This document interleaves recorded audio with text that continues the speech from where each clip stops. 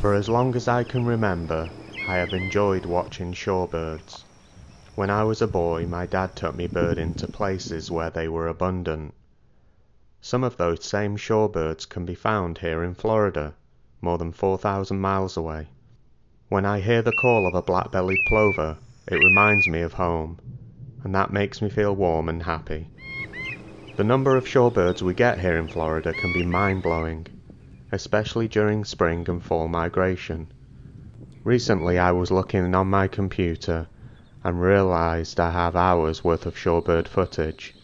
So here's a small sample of the species I've seen so far in 2020.